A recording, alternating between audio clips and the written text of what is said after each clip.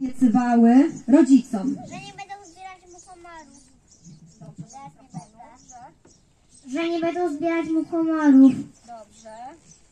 Że nie będą szaleć we mnie. Że nie, że nie będą, Będą jeść kwaśnych jabłuszek. że nie będą, że nie tak? będą, Że nie będziemy głaskać obcych Słów, tak.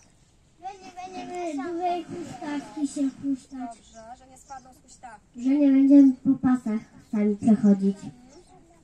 Ktoś jeszcze? A Y, Co dzieci mówiły, że czego rodzice ich uczą? Bo część rzeczy obiecywały, a część mówiły, że ich rodzice uczą. Pływać. pływać. Co jeszcze? Co tam jeszcze było? No? W szkole?